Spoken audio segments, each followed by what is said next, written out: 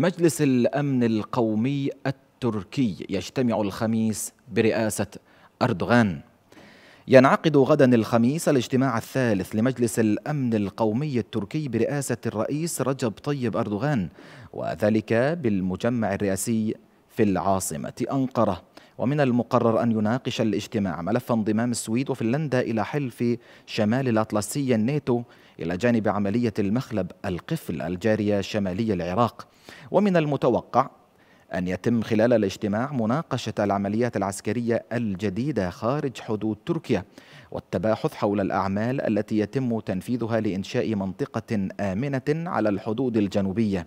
كما سيبحث الاجتماع فعاليات تسلح اليونان وآخر المستجدات في بحر إيجة وشرقي البحر المتوسط ومسائل إقليمية ودولية أخرى.